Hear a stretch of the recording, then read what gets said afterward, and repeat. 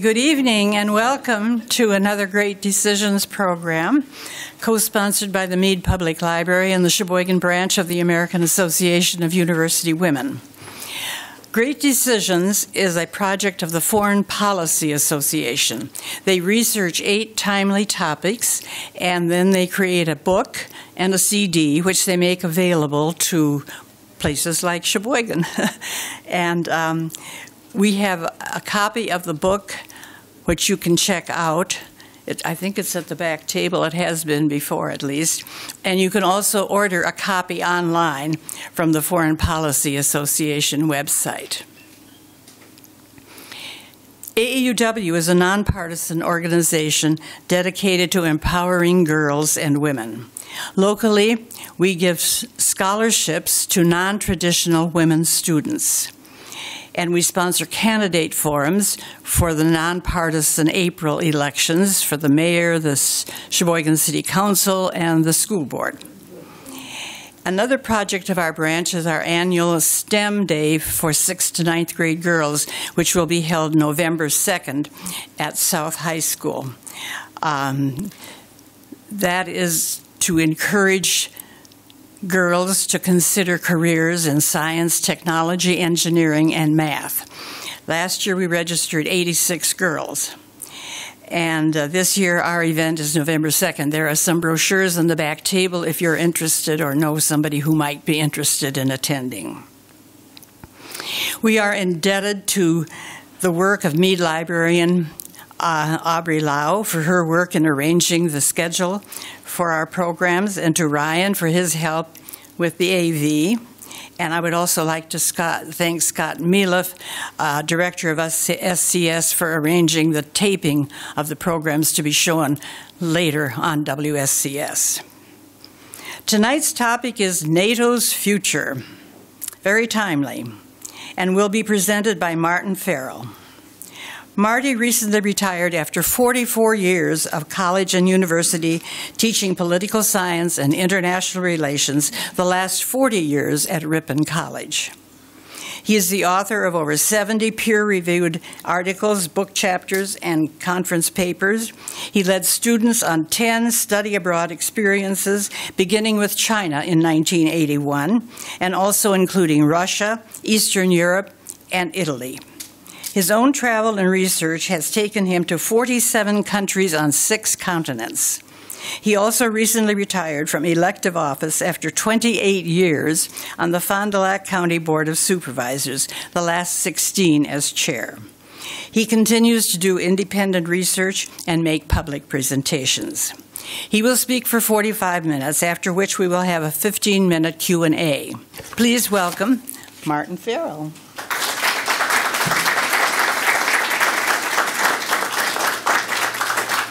Thank you very much, Dulcie, and uh, uh, thank you to the AAUW for sponsoring the series, and of course also to the uh, library staff, Aubrey and Ryan, uh, for your expert assistance in setting things up tonight.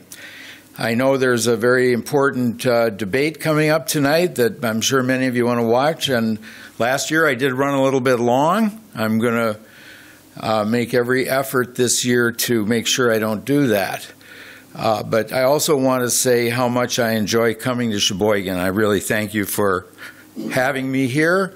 Uh, we love Sheboygan. We come over here just for fun. We brought relatives over here just a few weeks ago. Enjoy your beautiful parks, your state parks, your county parks, your museums, your great restaurants, uh, probably even more things to yet be discovered. But uh, you have a great community here, and it's a pleasure to come over. So, in the interest of uh, trying to be a little bit more succinct tonight, I thought I would try to address the question NATO's future with a succinct answer. It depends. Thank you very much. Any questions? No, seriously, uh, obviously, there's a lot up in the air right now. And one of the biggest things is probably the outcome of the American presidential election. Because we know Donald Trump has not been a big fan of NATO. Uh, recently, he said he was speaking to one of the presidents of one of the member countries. These are the 32 countries currently members of NATO. So one of these people, uh, apparently, and the person asked him, uh, Will you really protect us if Russia attacks us?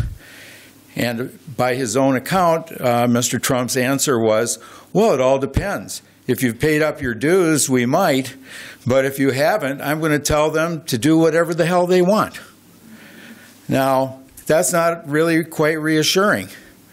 Uh, for one thing, it's not accurate to say that they haven't paid their dues. That we'll see how NATO is funded, and that is not really the issue. Nobody owes NATO or the United States any money. What is at issue is that some of the countries are still trying to meet the agreed upon goal of defense spending in their own budget on their own military uh, of a certain percentage of their GDP. And 23 out of the 32 have met that, but nine are still working to attain that. But in any event, even to suggest that the United States would not fulfill its treaty obligation under Article 5 to come to the aid of any country under any member country under military attack is pretty shocking. That's a unilateral obligation, uh, excuse me, abrogation, a unilateral abrogation of a commitment we first made in 1949 and have honored uh, up to this up to this point. On the other hand, if uh, Kamala Harris, who, by the way, is coming to Ripon on this Thursday, uh, as you may have heard, along with Liz Cheney, a lifelong Republican, uh, if she were to win the presidency, that does not mean there would not be any changes made. Uh, there are some common sense adjustments that NATO probably needs to make in order to uh, progress into the future given new challenges uh, and new threats elsewhere in the world. But we will take a look at those, those things. So, yes, it does depend, but uh, we'll have to take a little bit closer look at some of the variables that we need to consider here. Excuse me. All right, this is I want to give a little background first. This is history, but this is a very important map. And I know, I realize I do show a lot of visuals, and I maybe too many, but I am kind of of the school of thought that I should provide evidence to support the things I say. I guess that's kind of old school, huh? Is that old hat now? I do sometimes wonder what my life would have been like if I could have just said whatever I wanted, whenever I wanted, and never paid any attention to whether it had any resemblance to truth whatsoever. Just say whatever I thought made me look good. What a wonderful life, huh? Maybe I would have become president. This shows you what was happening at the end of World War II. And by the way, I'm not a big fan of war, and we're going to see the tremendous costs of the war in Ukraine in a minute. But World War II is by far the most destructive in human history. I ran across this fact the other day. uh, if you take every single hour of every single day for the full six years of this war, starting September 1st, 1939, when Germany invaded Poland, the average number of deaths per hour were 1,200. 1,200 deaths caused by violence for six years. And I also saw a picture of Dresden, Germany today in May of 1945. Totally destroyed. And we know Japanese cities were totally destroyed. So the war has tremendous costs in human terms and in material terms. But in any event, uh, by the end of 1943, the Russians had advanced to this line here. They had turned back the Wehrmacht in Stalingrad, a great battle. If you want to see that, uh, there's actually a, a, visual of that in a movie called Enemy at the Gates. They came out about 2001 uh, with uh, Jude Law and Ed Harris. It depicts this battle very accurately. I wasn't in the battle, but I've been, I've been to Stalingrad. I've been to the museum. And I've seen the pictures, and I saw the descriptions. Uh, very good movie to get a feel for that. But turning the Germans back, then Kursk was a huge tank battle a couple of months later, and thousands and thousands of German tanks were destroyed. And so then the Red Army kept progressing, and this is where they were uh, at the end of 1944. Kursk, by the way, Ukraine, that is where they have launched an, an attack on Russian soil.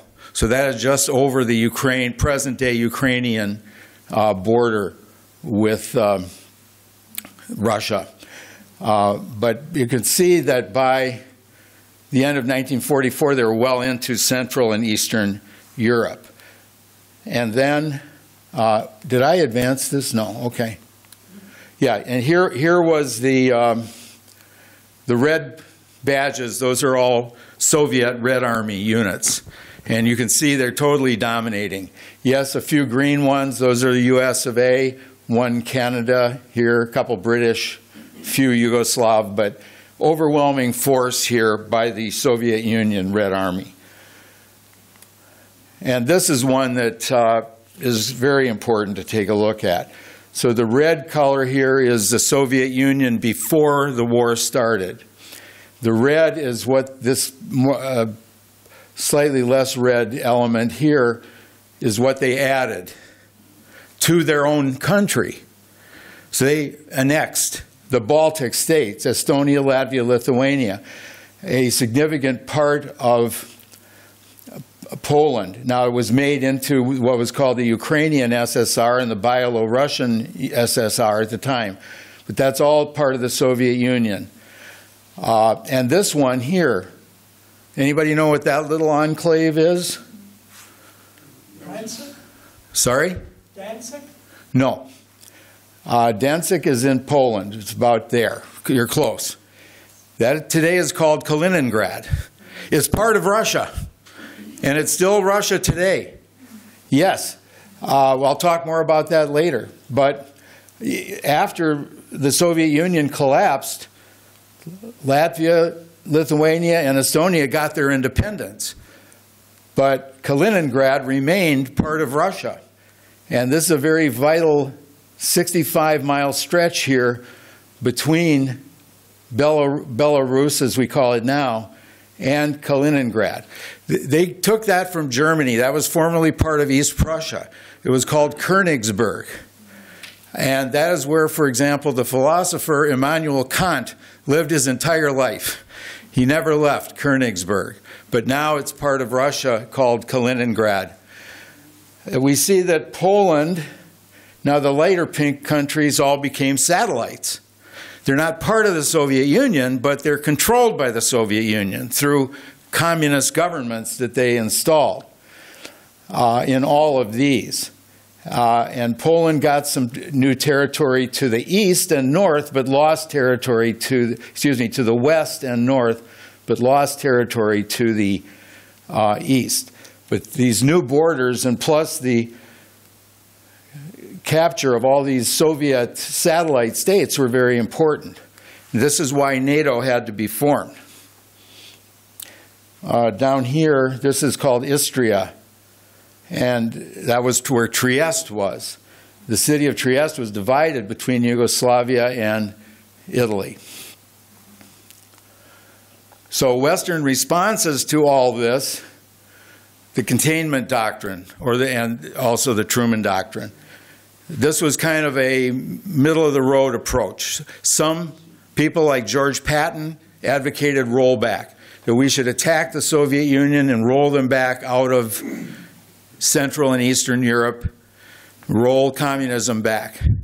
But again, the price at the time was considered too high. We'd just gone through tremendous war, both in Europe and in Asia for the United States and for other allies. Just did we really want to start World War III? Uh, a war we probably couldn't win, and a war that by after 1947 would involve nuclear weapons when the Soviet Union got them. So rollback was a minority position. Detente was the idea continue the friendship with the Soviet Union. They had been our ally. They were fighting Germany from 1941 on. Uh, so maybe we can continue to be friends. Just you know, let them have what they want, and maybe they'll be happy.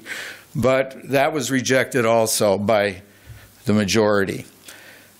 The second thing that was adopted was the Marshall Plan, extremely important. A lot of money in those days, about 173 billion. These were loans to the uh, 18 countries mentioned. Uh, the thinking behind this was not merely humanitarian, although in part it was to help them rebuild. As you can see, much of Europe was in ruins. But also, without a functioning economy, even the farm fields had been bombed into oblivion. Uh, the European countries were falling into poverty. And in conditions of poverty, communism was making inroads even within the Western European countries. Communist Party of Italy was getting 30, 33% of the vote in some of those early elections. Uh, Communist Party of France was getting 20% of the vote. Uh, so the idea was we have to get these countries back on their feet. Also, that will help us because if they have money, they can buy our goods. And we can export farm products to them, machinery to them until their factories get rebuilt, help our country not fall into back into the depression, which we had just gotten out of in part because of military spending in the war effort. So Marshall Plan, extremely important. By the way, every penny of that money that was lent was paid back with interest. So no, it was not, we were not taken advantage of. And then the third element was forming NATO. So here are some of the events in the early Cold War, Truman Doctrine, Marshall Plan, Berlin blockade, which is depicted here, lasted about a year. The Berlin airlift overcame that. April 49 NATO treaty signed, August 49 first Soviet nuclear test. Then China is captured by Mao Zedong and the Communist Party. So here we have Stalin and Mao shaking hands. That's a big threat in Asia now, and certainly a huge part of the Eurasian landmass controlled by our ideological enemies. And finally, the Korean War, which was no small thing started in 1950. So we have a lot of bad things going on today, but those were very fraught times as well, with a lot of very dangerous and threatening things happening. So this is when NATO was first formulated. Uh, began with the United Kingdom, France, and the Benelux countries then invited U.S. and Canada to join. They were the join, joined by Norway, Denmark, Iceland, Italy, and Portugal, even though Portugal was a military uh, strongman dictatorship at the time. Uh, but it made 12 original members that are depicted in blue. 1955, in response, the Soviet Union established the Warsaw Pact. And uh, this was to be the counterpart to NATO of the satellite countries uh, here in Central and Eastern Europe. Uh, so this was the standoff that we had starting in the 1950s. Now, as we can see, by today, NATO has expanded dramatically. Uh, basically, uh, the idea behind NATO to deter Soviet aggression beyond what it had already conquered in Eastern and Central Europe. Excuse me. We'll talk about the expansion more a little bit later. But as you can see today, it's pretty extensive. Canada and US, but now Sweden and Finland just joined very recently. But we added the former Soviet satellites, most of them in the 90s and early 2000s. Uh, Turkey was added early on, and Greece. Spain a bit later after the Franco dictatorship came down. But so today, and we have all the Baltic states, Estonia, Latvia, Lithuania, Poland. The only countries in Europe that are not in NATO are Ireland, Switzerland, Austria, Serbia, Kosovo, and then some of the smaller island countries in the Mediterranean. In the former Yugoslav Republic, Slovenia, Croatia, Montenegro, Northern Macedonia, and Albania are all within NATO. And this would show you the dates of the expansion, which I won't go into detail on right now, but you can see the former satellite states uh, were added mainly in the 90s and early 2000s. The purposes obviously deter the Soviet expansion, but also prevent a revival of nationalist militarism in Europe and to encourage European political integration. Now, this was the first external defensive commitment ever made by the United States. Never made this kind of an ironclad treaty uh, agreement of mutual assistance ever before. Was firmly enmeshed in the, excuse me, in the, uh, whoops, United Nations framework. And as I said, one original member was a military dictatorship. Now, democracy is a requirement to be admitted. I'm not going to read this, but these are the main provisions that they will abide by the UN Charter. Uh, they will attempt to settle any international dispute in, by peaceful means, uh, and they will refrain from the use of force except in self defense. But Article 3 goes on to say that they will separately and jointly, by means of continuous and effective self help and mutual aid, develop their individual and collective capacity to resist armed attack. And this is the most important Article 5. The parties agree that an armed attack against one or more of them in Europe or North America shall be considered an attack against them all and will assist the party or parties so attacked by taking forthwith individually and in concert with the other parties such action as it deems necessary, including the use of armed force, to restore and maintain the security of the North Atlantic area. So it doesn't absolutely commit them to a military response, but it says uh, that should be considered. And uh, this, is, but the main commitment is that attack on one is an attack on all. All right, this is the structure. I'm not going to go through this too much, but uh, Secretary General is the CEO, basically, uh, running the organization, who is selected by the Council. The Council sets the policy. How do they make decisions? How do they decide whether to send troops to a certain place or another? Through discussion and consensus. And ultimately, all the members have to agree. So, for example, all the members had to agree to admit both Finland and Sweden. And if you were following that, Finland didn't seem to be much of a problem, but Sweden was somewhat of a problem for Hungary with its strongman uh, president these days, uh, prime minister rather, Viktor Orban, and also Turkey. Turkey didn't like the fact that Sweden had given amnesty to some Kurds who had uh, fought against the Turkish government, Kurds as a separatist uh, ethnic group the, in the, living within Turkey and some of those other countries adjoining there. But I think we just had the change of Secretary General today.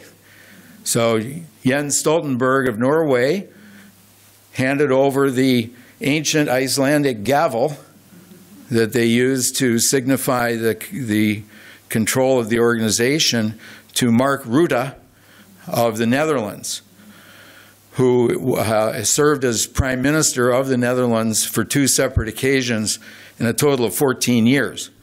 So he's very experienced, and all of those governments were coalition governments. So he has to know how to negotiate and try to get a consensus, which is what he also has to do uh, as the decision making process in NATO. Now, here's, here's the thing that some people don't understand NATO has two budgets. One are the common charges, those would be your dues. So, this is what you need to pay to keep the organization running each year. About 2,000 full time equivalent day to day staff. They have some aircraft, some drones.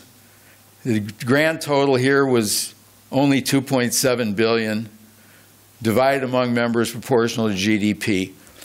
Um, I say only 2.7 billion, but I mean compared to other military expenses, that isn't really very much.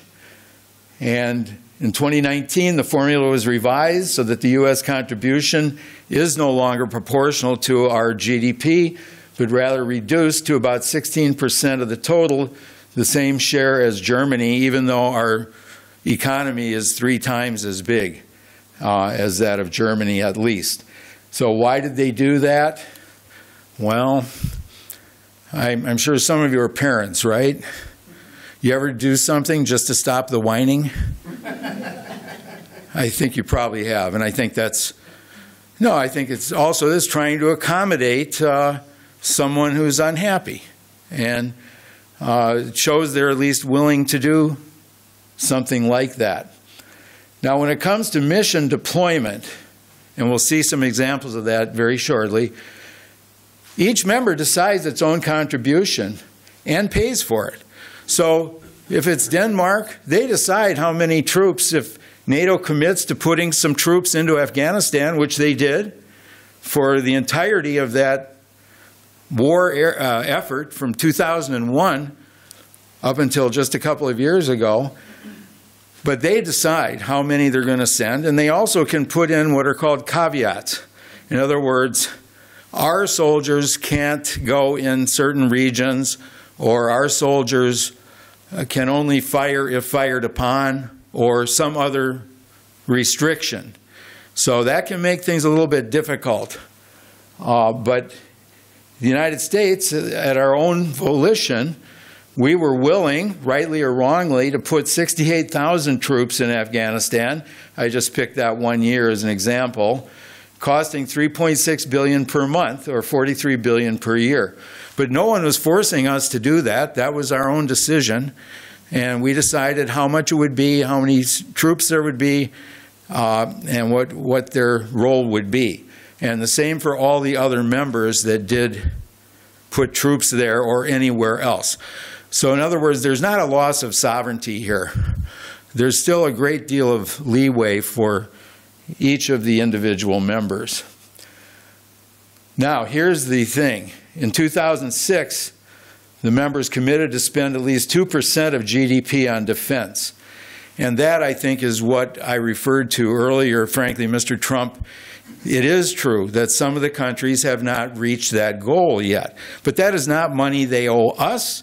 That is not money they owe Brussels or the NATO Council. Uh, that is just their own political process that they have to convince their members of their parliament or other legislative body to raise the defense spending to 2%, and most of them have.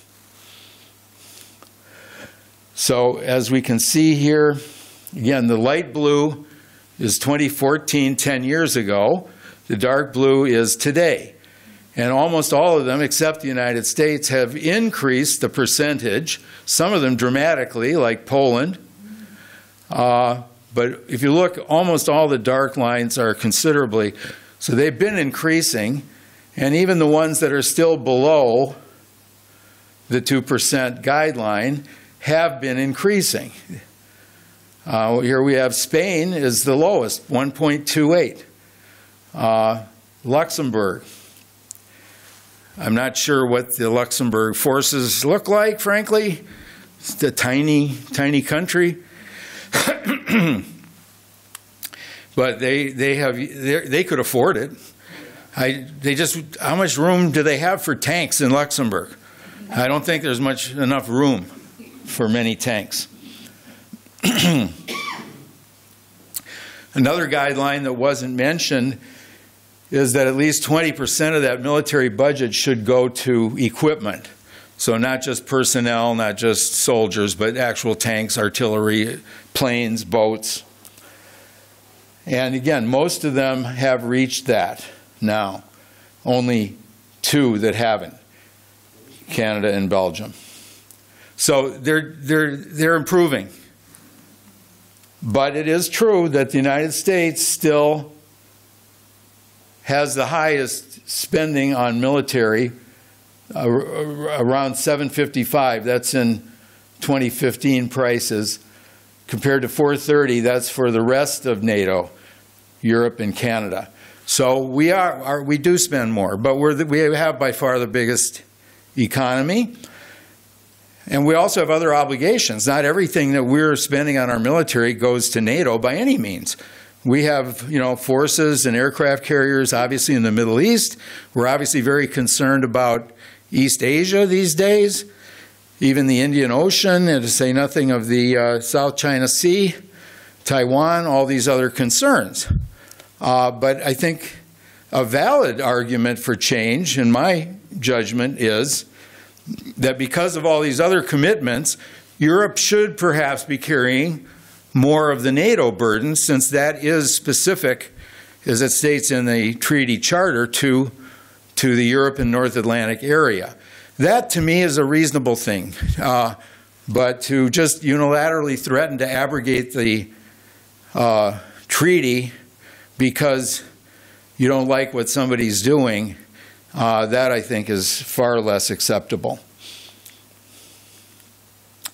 So again, just to show you, now this is only the Canada and European nations, but you can see, especially since 2014, they've really increased their military spending. And each time here that we're adding a country, well, then that adds their defense budget into the total, so that helps the curve go up. But you know, again, this is what's brought them up to the 430 billion uh, that they are sp spending on their military today. Now, again, there's a concern about United States and can we afford to be in NATO anymore? But here, this is not the NATO nations. This is the OECD. These are the top, most advanced 35 nations uh, in the world today. And you can see that our level of taxation is very near the bottom. Uh, there's only one other NATO country that is taxing itself at a lower percentage than the United States, and that's Turkey. But all the rest are already taxing themselves more. Denmark is way up there 45% of GDP. So the argument that the United States, again, we're all taxpayers. Do I enjoy paying taxes? No. But we need to recognize that other people are actually paying a higher burden of taxes than we are. Now, what I want to say here is the first phase of NATO was uh, clearly successful.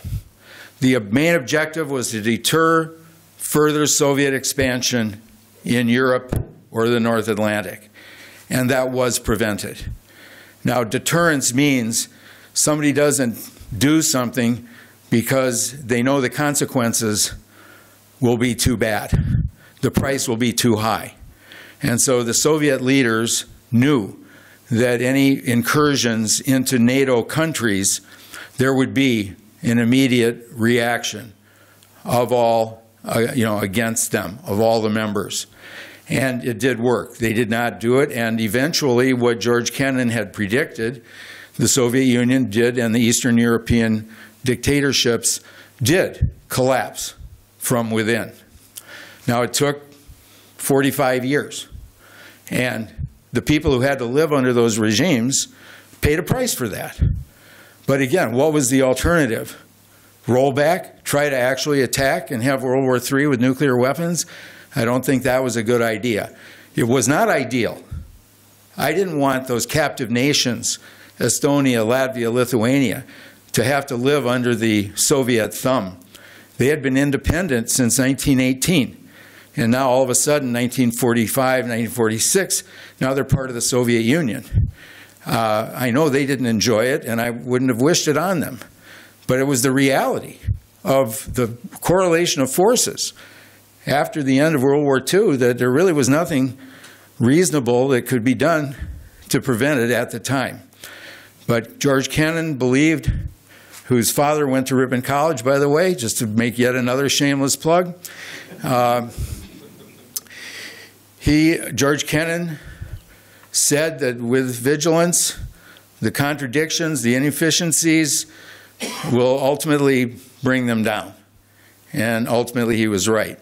But the other thing I need to mention here is that we did have to accept the Soviet sphere of influence in its satellite countries. So when they intervened in Czechoslovakia, for example, during the Prague Spring of 1968, I'm sure some of you remember that, uh, we really couldn't do anything about that. They're not a member of NATO. Uh, again, that would have been a casus belli for World, War III, probably. Uh, and so we did not intervene. Uh, we let them keep their heel on their satellites and the captive nations uh, during this period of time.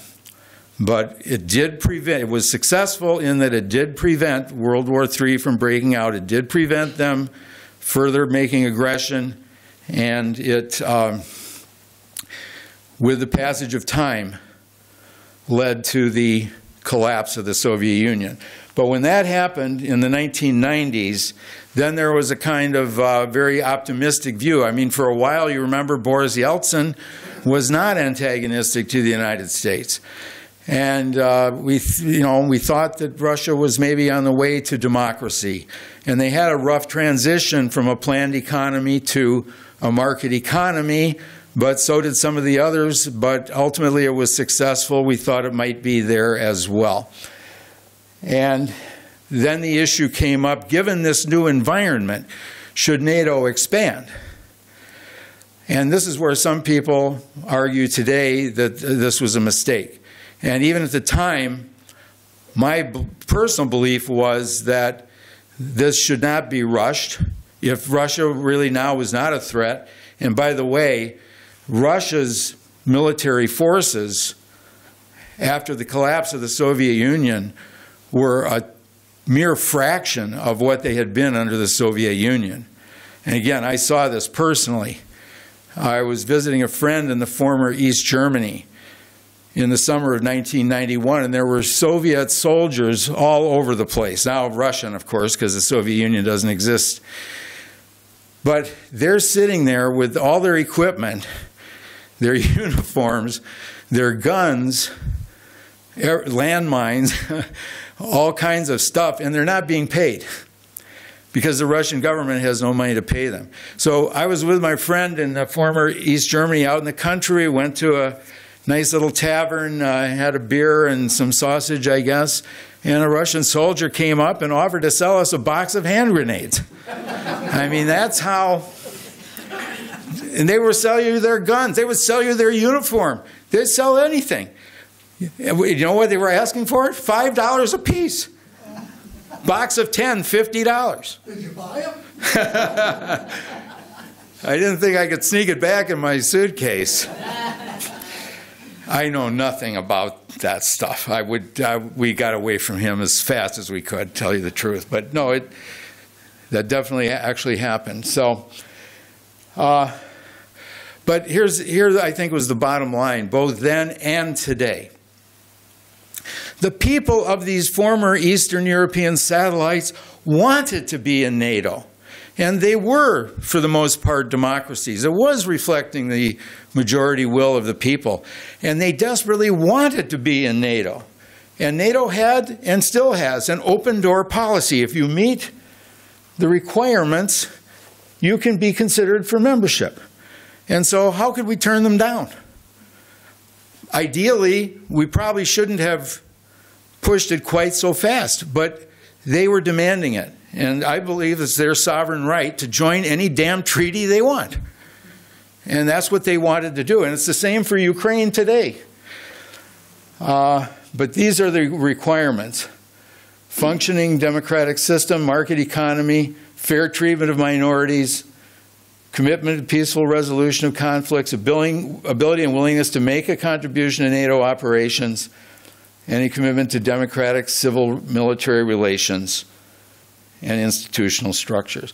So again, it takes several years of, of consideration by the NATO Council, but all these countries were allowed to join gradually, you know, bit by bit. Now, NATO having been successful in deterring aggression throughout the entire period of the Cold War, NATO forces were not involved in a single military engagement. However, the terrorist attacks on 9 11 of 2001 led to the first ever invoking of Article 5. So NATO forces then were involved in Afghanistan and Iraq for a number of years. Now, during the 90s, though, and the 2000s, NATO took on other missions and other operations, not combat related, but more of a peacekeeping or other nature. As we mentioned, some here counter piracy in the Red Sea, no fly zone in Libya, Pakistan, earthquake relief, and so forth. And so, actually, we don't have time to go through these in any detail, but even currently, there are NATO forces still in Iraq trying to keep the peace in Kosovo. Operation Sea Guardian is uh, protecting shipping in the Mediterranean. There, there are some forces in Africa trying to, uh, again, peacekeeping function and securing Allied airspace. Some of the others in the past, the one in Afghanistan, obviously did not work out that well, uh, but there were a number of others. Some were successful, some were not.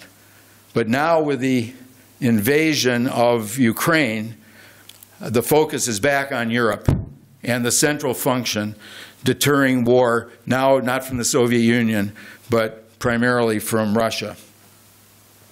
So how do we, NATO stack up against Russia militarily? Well, actually, NATO is much, much stronger, combining the forces of all 32 countries. So almost 6 million military personnel compared to 1.3 million.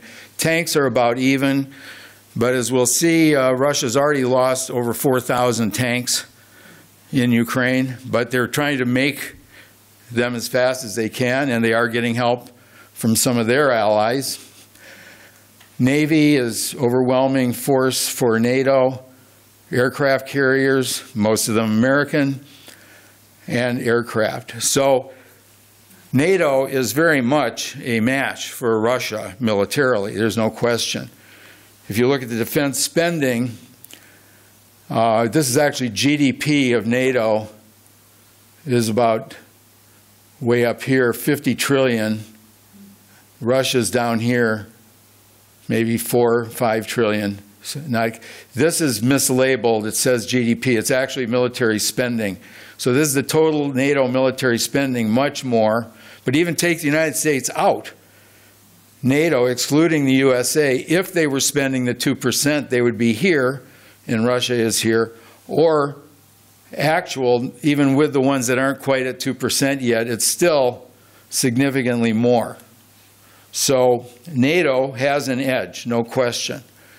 Uh, how about nuclear weapons? Well, that's about even.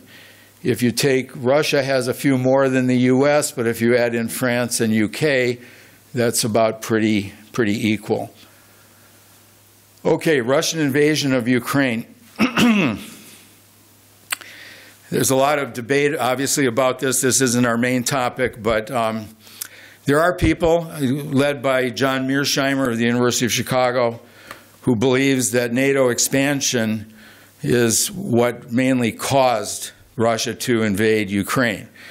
He argues that uh, Putin felt threatened, had drawn a red line. Ukraine simply cannot join NATO, and when it looked like they might be moving in that direction, uh, he decided to invade. Now, I do not believe that Putin, some also say, to arguing in a different way, that Putin wants to reestablish the Soviet empire. And that I do not accept either. That's way too ambitious. I mean, you're talking about bringing back Kazakhstan, Tajikistan, Uzbekistan. Uh, no, but I do think the Baltic states might be threatened because when the Soviet Union controlled them, they moved a lot of Russian people into those countries. And so they might come up with a, some kind of a justification uh, for an invasion there. So that is where I think NATO uh, can play a very major role in deterring that and making sure that doesn't happen. Obviously, I think Putin did feel the Ukrainian government would crumble, and that is why he initially, these are the initial attacks. This is Kiev, the capital, and you know they were right there. Now, Ukraine was able to force them out, but I'm sure he thought if I get this close to Kiev, they'll collapse and we'll get a more friendly government back in Ukraine.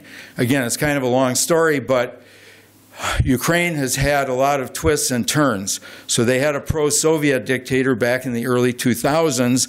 He was overthrown by the Orange Revolution, and more democratic people were brought into power in Ukraine in 2004. But they made a hash of things. They were corrupt themselves. Some of them ended up in prison for taking bribes and so forth. And so that allowed uh, another pro Soviet person to be elected. And there were negotiations both with Russia and with the European Union. Which way will Ukraine go? And the pro Soviet, or excuse me, pro Russian Yanukovych at first was talking with the European Union about applying for membership, but then at the last minute he switched and said he would join a Soviet trade agreement instead. Uh, it's not Soviet Russian. He would, he would join a pro Russian trade agreement. That's when the people erupted again.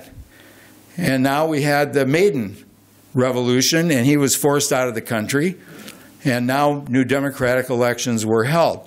Well, you know, this is kind of inner turmoil on the part of the Ukrainians themselves. If they had been more unified and more efficient at what they were trying to do, uh, they might have been able to pull it off.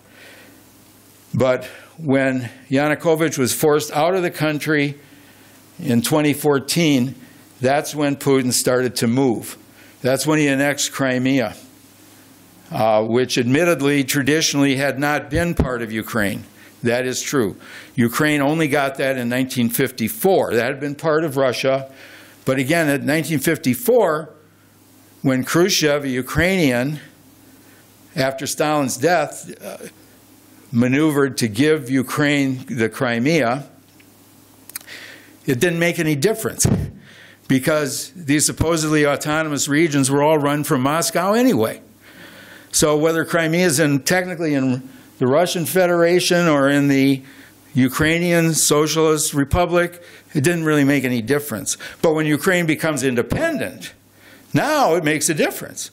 Now, it's, now Ukraine can actually make decisions regarding it, uh, which they couldn't before.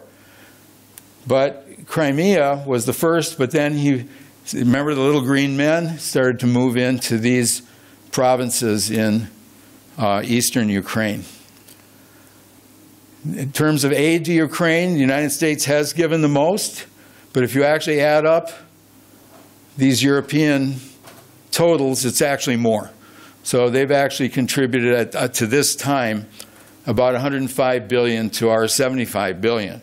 And I know we have legislation to expand that, but it, ha- have, it hasn't been approved as of yet. And again, we don't have time to go into the all the details here, but um, these are the Russian positions as of last week, and these are the uh, Ukrainian incursion in blue into the Kursk region. That's up. Uh, that's about up here. So um, this the the war is going on. It is not. Uh, going as Putin had intended. I'm sure of that. But it's also not anywhere near a slam dunk that Ukraine can win a clear cut victory either. Uh, in terms of nationalism, uh, there are pockets, especially Crimea, but also in the disputed areas of Russians, uh, a few other minorities, Bulgarian and so forth. So there are there's there is some reason for Crimea to be part of Russia, but for the rest, I think it's uh, much harder to make that case.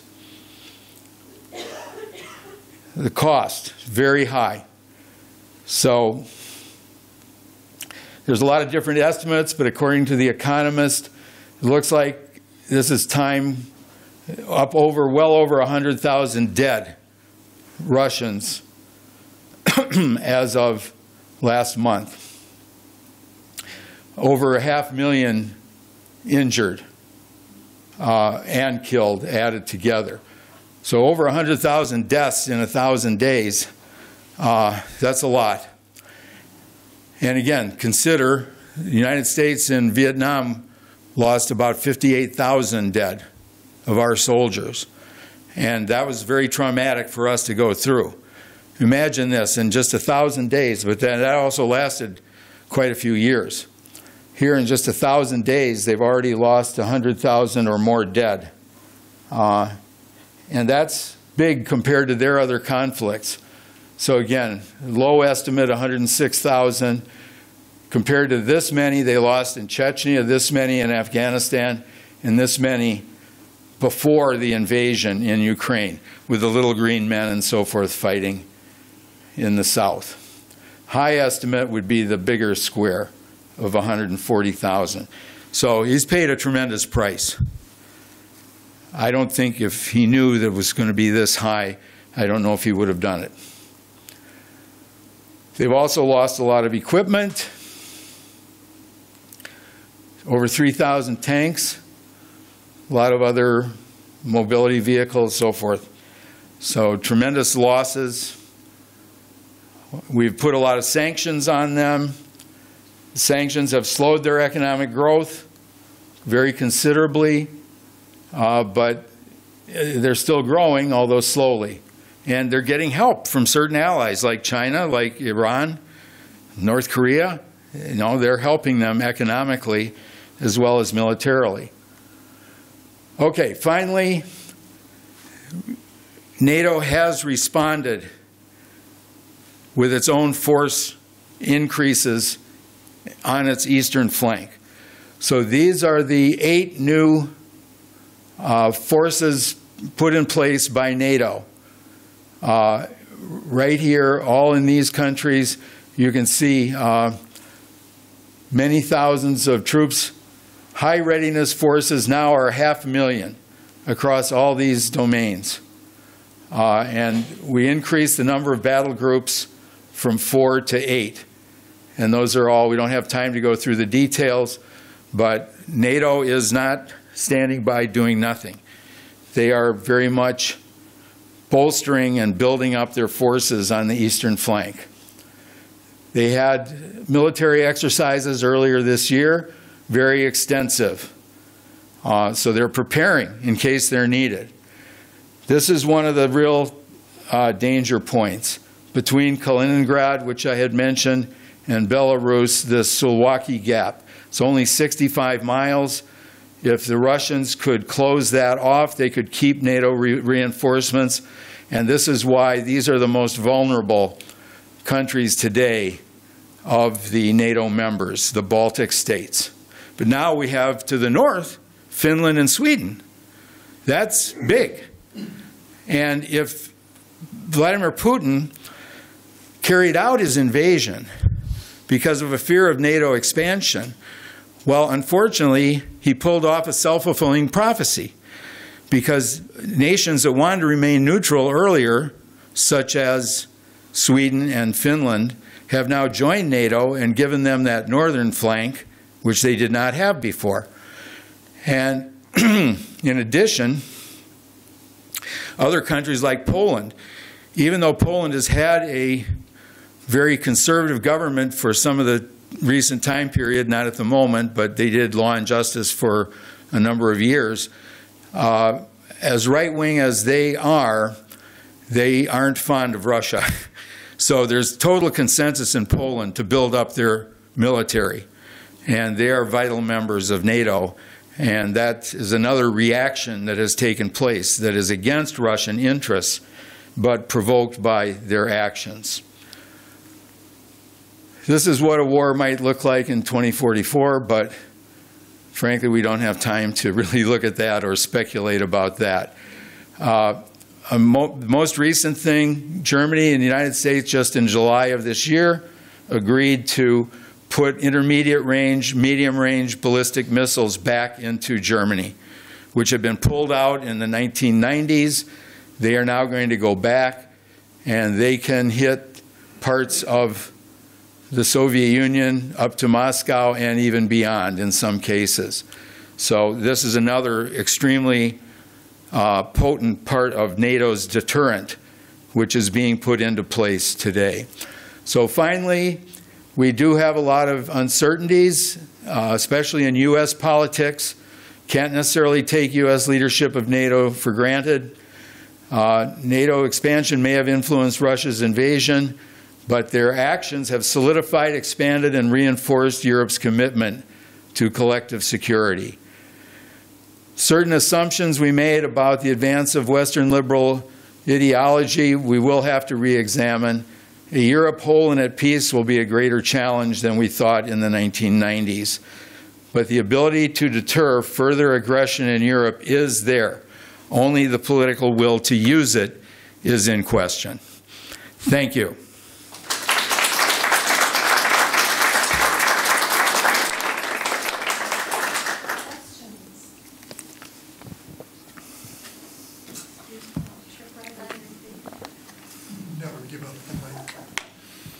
Okay, question, Professor.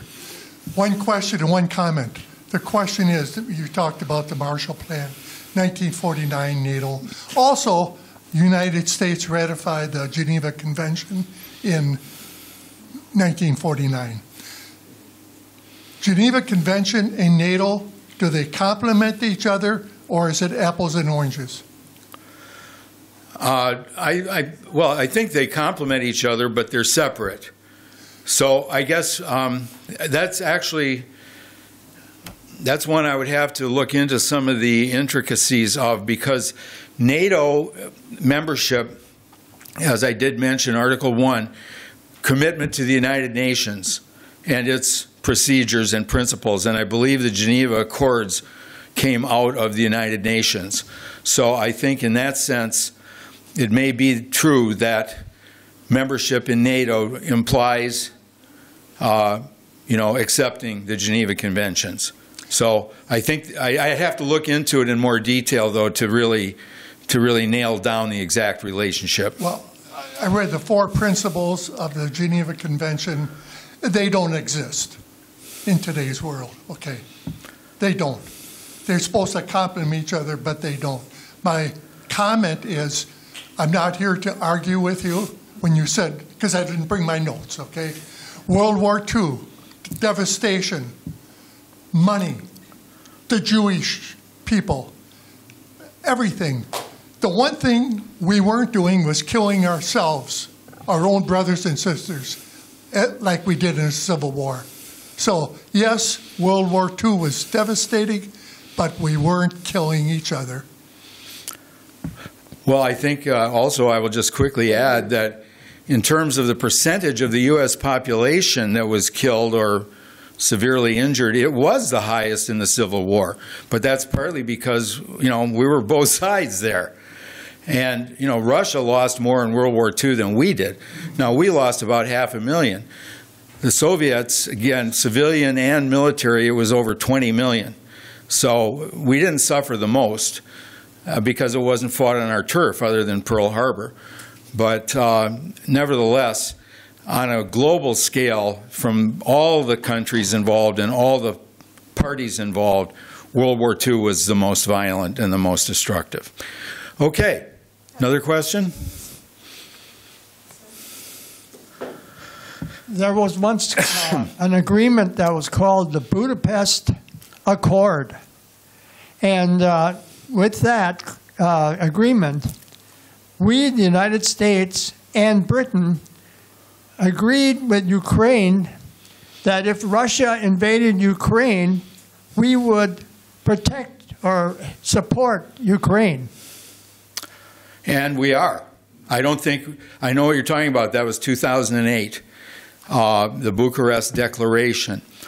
But I don't, I, I don't think it committed us in the same way as that an attack on Ukraine would be considered an attack on the United States and United Kingdom. No, that, But- that wasn't it. It was, uh, But it didn't have nothing to do with attack on the United States. It was uh, if you No. attacked um, Ukraine, because uh, when that agreement was started, Putin was afraid of Ukraine because Ukraine had all of the armament after World War II. They had more equipment uh, for military than Russia had. And, Budap- and uh, Putin was afraid of Ukraine. That's why he agreed with, he tried to get Britain and United, I mean, Britain and United States agreed that if he, Ukraine, uh, he invaded Ukraine, we would support Ukraine. yes, and they are. Yeah. I, it was not the same, though, as what I was trying to say. It was not the same as Article 5. We didn't agree to treat an attack on Ukraine as an attack on us. That would require NATO membership, which they don't have and didn't have. So, uh, we, I'm familiar with the Bucharest Declaration, and I believe we're following it the, the best that we can. Look, there, there, there's a very severe danger here of eh, what has happened in Ukraine up till now uh, has been very bad.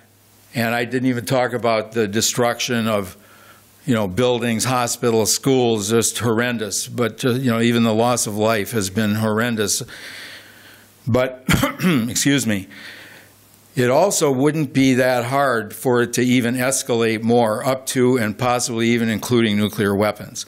So that is why we have to exercise some caution. So again, some are urging that we give Ukraine missiles that could hit so uh, Russian cities, just as they are hitting Ukrainian cities. So on one level, that would be that would be fair. But on another level, uh, if it provokes Russia into even possibly using tactical nuclear weapons, now you're going to see even a much more destructive thing, and it could conceivably escalate uh, even into a really huge, even much bigger war than it is already. So this is why it has to be handled carefully. We do not, in my opinion, we do not want to let Putin win.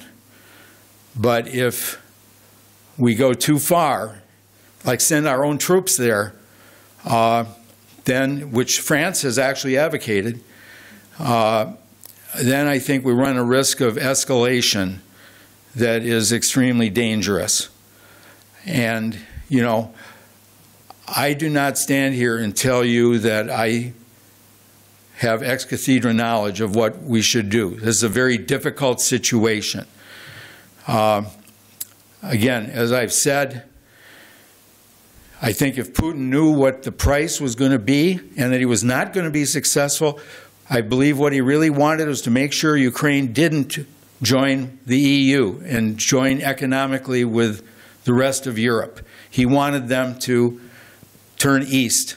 And as his friend, the part, the president for a number of years, Yanukovych, tried to do that.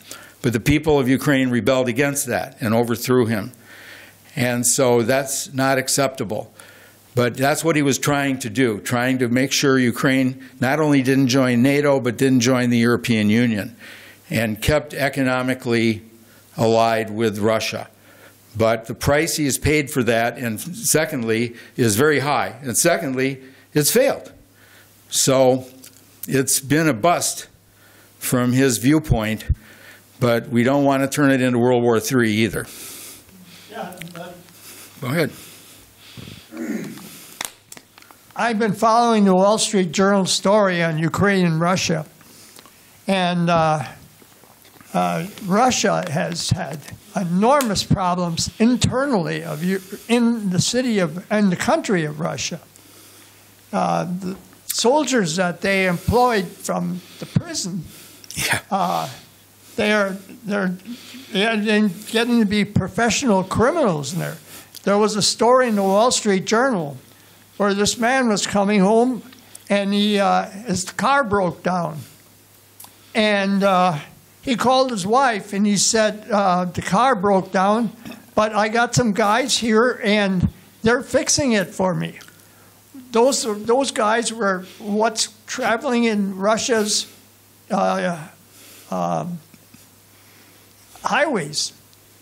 Um, and when they fixed it, they shot him and they took his car.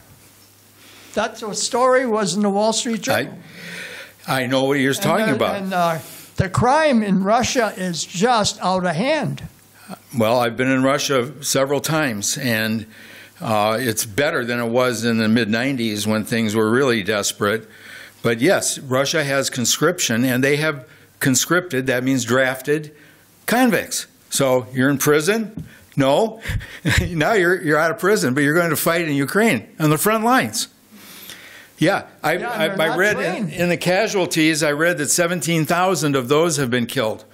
Out of the, so that's about 17% or or so of the deaths of the Russian soldiers have been conscripted convicts. So it, it is something that is, Yeah, I- is very significant.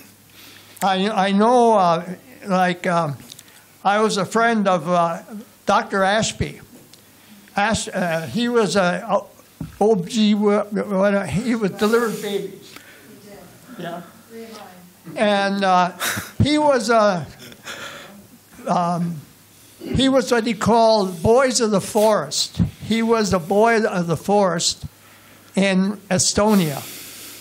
And they, he says we hated Russians, and uh, they fought with them. They, you know, and uh, uh, all those countries are hate. I knew a guy real well from uh, Czech Republic, and uh, he said, you know, everybody hates Russia. Yeah, and especially Poland. Nobody more than in Poland, and that works to our advantage, regardless of which party is is ruling in Poland. But I understand what you're saying, and th- these are all, again, Putin wrote artic- an article in 2021, just six months or so before the invasion, in which he argued that the Ukrainian nation was a myth. There is no such thing as Ukraine. It was always part of the Russian Empire, and therefore it didn't have the right to be a sovereign, independent country. Well, that's just false. The Ukrainian language is distinct from the Russian language. Yes, they use largely the same alphabet, but they're not mutually intelligible. Uh, you, you have to study the one from the other in order to learn it. Uh, their cultures, again, originally, but this goes back to the ninth century. the founding of Russia, it was called the Kievan Rus because it was based around the, that very old city of Kiev, or Kyiv as we call it today. but that state was actually founded by Vikings. And they're the ones who came down. That's what the Rus means. It means rower uh, in Old Norwegian language. So the rowers came down the rivers and conquered the Slavic tribes and set up this government. But that only lasted a couple hundred years. And then the Mongol hordes came in and wiped them out. But Ukraine then evolved on its own before Russia really got strong as it, it later became. Russia used to control Finland. Does that mean they can go from 1808 until 1918? Does that mean they can go in and invade them now uh, because they owned them once? That has no more validity than the Chinese uh, seven dash line in the South China Sea, which again they claim to be able to control because back in the Ming Dynasty they did control it. No, that we have international maritime law that takes precedence over that, and we have Ukraine was established in 1991 as a sovereign nation, and it has all the rights of a sovereign nation, including not to be invaded. Okay, maybe time for one more? One more? Okay. One more. Get another one, Mike. Make sure, first, can we make sure, uh, somebody that hasn't had one? Why would people come here and sit not ask questions? Okay. Well, I just want to make sure they had a chance. So, you, you talk about uh, uh, Marshall, an elder statesman, right? George Marshall? Yeah. Okay. I don't know if we have any here. I'm not talking about Trump, but I'm talking about great minds like Marshall. When they look at Ukraine, one says this, one says this. They're not in, it's not a political, how, who do you trust? Who do you believe? Well, I, I know, and there's disagreement even among people that I do respect. So, for instance, I do respect John Mearsheimer, and I read a lot of what he writes about this. But I, I have to disagree because uh, Ukraine was perfectly within their rights, just as all the other Eastern European nations were, to ask to be considered for NATO membership. That is what they themselves, as a sovereign people, decided they wanted. And no outside force has the authority to deny them that. Now, again, what Russia is trying to do is to go back to that old Soviet idea, not necessarily of totally owning the country, but at least this is my sphere of influence. Well, we, we can't uh, respect that anymore. Uh, we have sovereign nations that have the right of self determination, and they have the right to join any treaty organization, any economic organization, any common market, anything that they democratically decide to do. But I agree with you, we have differences of opinion, but that is why, hopefully, we have discussions like this. I'm not telling anybody in here what to think about it. I'm trying to give you some information, some background, but you think about it yourself. Uh, get other sources of information, consider it very carefully, and then you make up your mind and let your representative know uh, what you would like them to do. Thank you very much.